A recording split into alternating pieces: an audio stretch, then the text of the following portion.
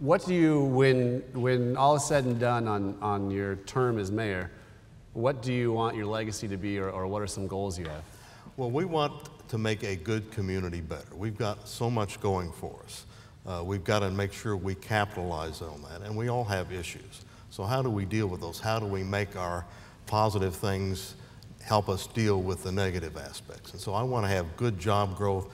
We've got a lot of good jobs, but we also have low wages. So, how do we m- merge Yeah. those two together? And that's, that's a real objective that I've got. Now, now that you're mayor, and, and you, how long have you been on the city council?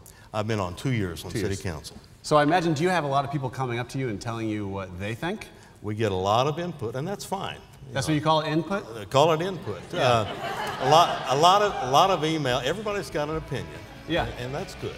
That's good. And most people aren't hesitant to tell you their opinion. Yeah. They say opinions are like emails. Everyone has one. Everyone has one.